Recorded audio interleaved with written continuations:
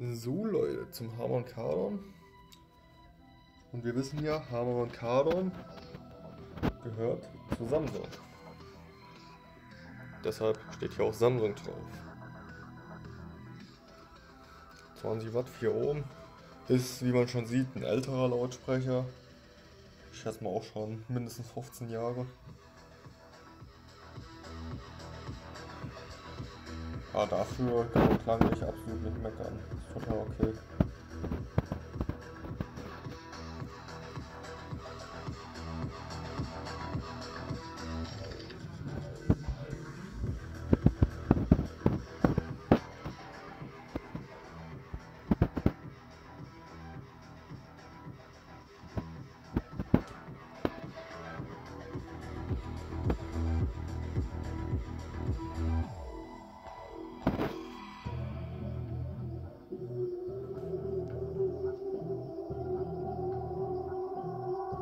Also, tschüss, bis zum nächsten Video.